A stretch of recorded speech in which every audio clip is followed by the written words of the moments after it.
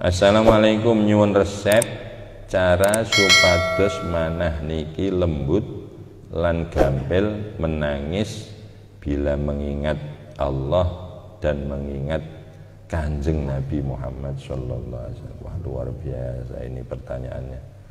Saya yang ditanyai saja belum bisa nangis ya. Apalagi kalau bangun tidur melihat istrinya, wah malah tidak bisa nangis belah itu. Hmm. Gini, zikir itu adalah resep menenangkan hati. Ketika sudah kita lakukan, mestinya harus tenang kalau tidak ah, berarti ada yang salah. Ya. Contoh ini. Cengeh itu kalau dibuat nyambel mesti pedes. Loh ini saya nyambel cengeh kok enggak pedes ya ini mesti ono ada masalah. Barang diteliti cengeh nom kabeh. Eh, lah iki apa? Lah enggak pedes blas. Resepnya menenangkan jiwa adalah zikir. Nah, yang menjadi masalah sudah zikir tidak bisa tenang. Nah, itu berarti ada masalah.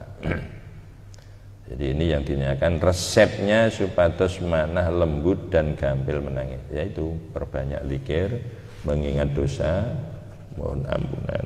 Sampai disabdakan Rasulullah kalau kamu mengingat Allah belum bisa nangis maka pura-puralah nangis terus nanti lama-lama nangis betulan. Ya. jadi awalnya pura-pura ya Allah. Nanti nangis sungguhan. Ketahuilah maka di antara hikmah ketika Allah mau mengangkat derajat seseorang itu Allah membuat dia punya dosa. Itu di antara hikmah. Kemudian dia nangis dengan dosa yang dilakukan itu. Akhirnya dia semakin tinggi derajatnya semakin tinggi derajatnya. Tapi jangan begini wah kalau gitu saya tak dosa dulu. Ya nanti saya tak taubat biar bisa nangis terus. Ya kalau setelah dosa bisa taubat. Kalau enggak ya kalau setelah dosa masih hidup kalau mati. Artinya jangan disengaja untuk berdosa. Ya, itu di antara hikmah yang jelas ketenangan jiwa, kelembutan hati itu resepnya adalah zikir ala bidzikrillahi tatmainnul qulub. Kalau ingin bisa menangis ketika mengingat kanjeng Nabi, mengingat kanjeng Nabi ya ingatlah perjuangan-perjuangan beliau jasa beliau ya Allah kandainya Rasulullah tidak berjuang saya mungkin masih kafir masih Hindu, masih Buddha, tidak kenal Allah. Maka di setiap baca sholawat akan terjiwai jasa-jasa Rasulullah yang kita terima ini.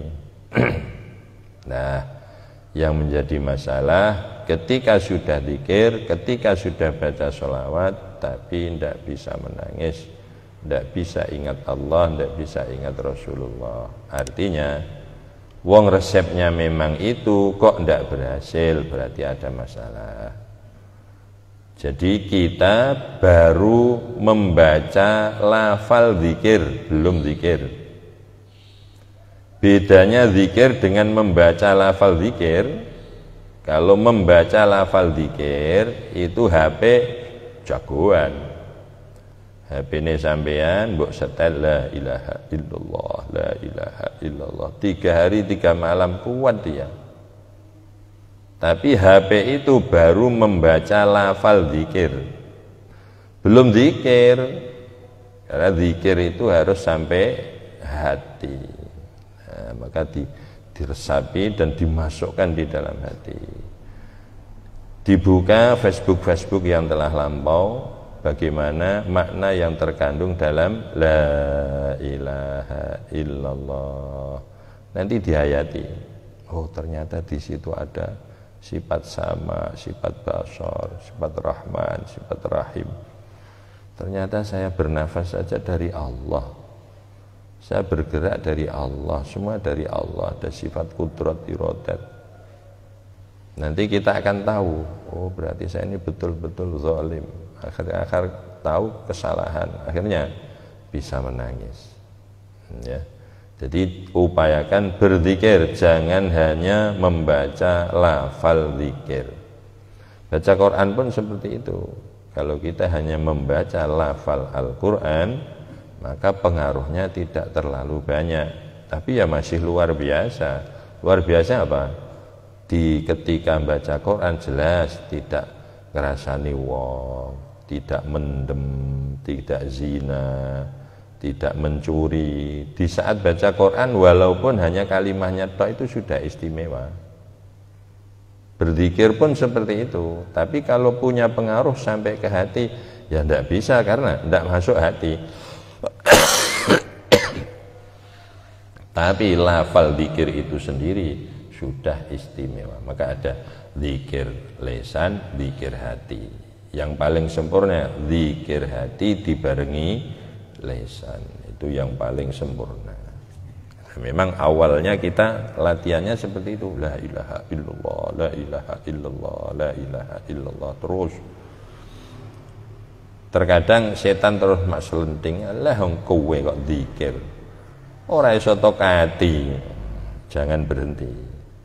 Memang? Memang alatnya itu kok mau kamu ganti dengan apa? Alat menenangkan hati itu zikir. La ilaha illallah, subhanallah, astagfirullah, la haula wala quwata illa billah itu alat menenangkan hati. Lah kok mau diganti diganti dengan apa? Makanya terus seandainya satu bulan masih belum bisa masuk di dalam hati teruskan dua bulan tiga bulan seandainya umpama mentok mentok mentok 20 tahun akhir hayat masuk di dalam hati sekali tuh dok itu sudah tidak bisa menghitung pahalanya hmm, ya, itu mentok mentok mentok seperti kita ikhlas itu kita apa baca Quran belum bisa ikhlas, pergi ke masjid belum bisa ikhlas. Puasa anggar mangkat, angkat terus. Maca Quran terus, sedekah terus, urung ikhlas, urung ikhlas. Wah, anggar sedekah.